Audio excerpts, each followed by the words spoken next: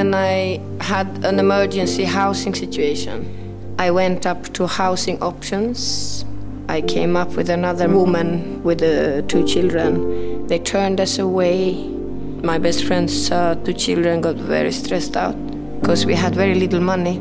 So we basically had to go to a private hostel and we succeeded to pay one bed and then they said that they can't be in there because it has to be a mixed room. A child cannot sleep in a female room. And so we had all kinds of problems, even in paying hostel. So nobody was really, you know, able of helping the other one because they're not supposed to. My friend needed to do something for a child. She's not supposed to bring the child into job center. She's not supposed to bring the child in here and there and there. So it means she had to leave the child with me to be able to do something. It means I couldn't get a handout and I couldn't do the work.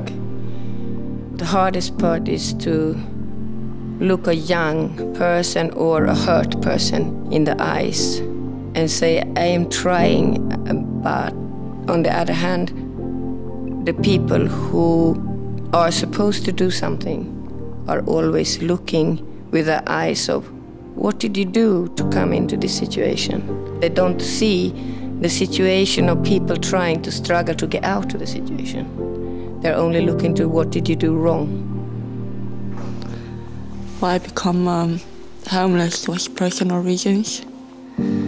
And um, because you live on top of people, you need to live on their rules. And the day you become homeless, there's no way that anyone is going to access you to help you. And since you're not a priority, they're not going to listen to you.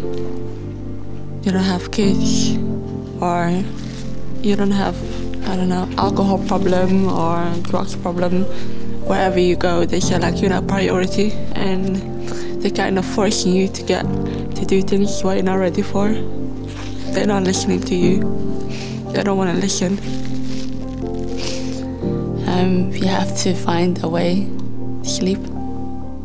Days that I go to the trying to find safe places, like police station or whatever, and they told me like, there's no hotel or whatever.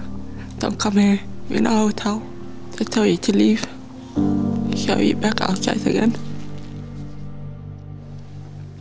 1976, the UK ratified the Covenant on Economic and Social and Cultural Rights of the United States nation. As a member, the UK must recognize the right of everyone to an adequate standard of living, including housing. The responsible UN committee interprets this to mean, among the other things, that the right to housing should be ensured to all persons, irrespective of income or access to economic resources.